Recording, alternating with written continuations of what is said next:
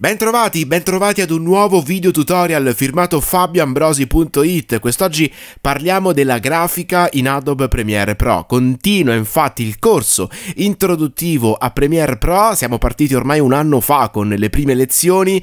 Stiamo quasi arrivando alla conclusione. Tra qualche lezione parleremo ovviamente dell'export perché dopo tanto lavoro uno si domanda come faccio ad esportare eh, i, i, le mie creazioni su un file, condividerlo con gli amici.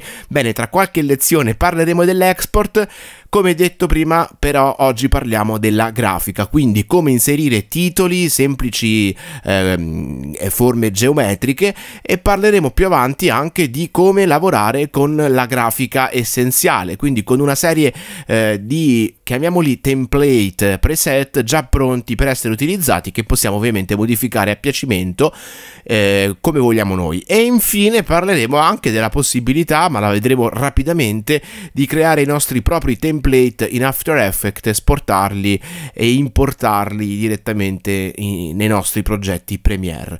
Questo è quello di cui parleremo, vi ricordo www.fabioambrosi.it, sito dove troverete l'indice con tutti gli argomenti del corso, c'è anche il corso di After Effects se volete imparare qualcosina di più su quel software, eh, ovviamente qualcosa di introduttivo, eh, quindi c'è un corso proprio per chi non ha mai messo mano ad After Effects, quindi se siete già bravi forse quello non è il corso che fa per voi. Ad ogni modo, iscrivetevi a questo canale YouTube per non perdere anche i prossimi corsi, i prossimi tutorial. C'è la pagina Facebook per tutte le informazioni. Fabio Ambrosi, venite lì e mettete un like. Bene, parliamo di grafica.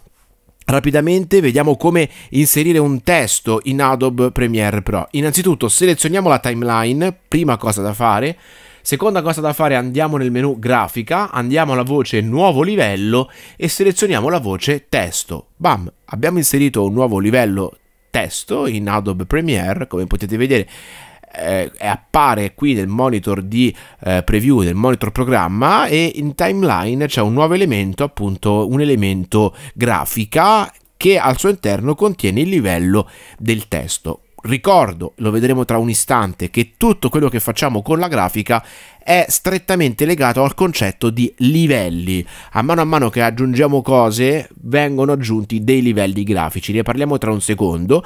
Eh, se vogliamo modificare le proprietà di questo testo che abbiamo appena inserito, come ripeto ormai da tantissimi tutorial, fin da quando abbiamo parlato degli effetti video in Adobe Premiere Pro, tutte le opzioni degli elementi che stiamo modificando, che stiamo lavorando, sono nel pannello controllo effetti, ok? Quindi in questo pannello controllo effetti dove eravamo soliti abituati ad andare per modificare gli effetti, per cambiare la posizione, la scala, eccetera, eccetera, c'è una nuova sezione chiamato, chiamata grafica e qui come potete vedere compare un livello ecco perché appunto parlavamo di livelli livello testo. Io espando il livello testo e ho le proprietà che posso modificare eh, per cambiare appunto per esempio il font del testo che sto utilizzando piuttosto che la dimensione del testo che sto eh, inserendo anche il colore per esempio e tante altre opzioni come per esempio eh, l'ombra il bordo e tante altre, e tante altre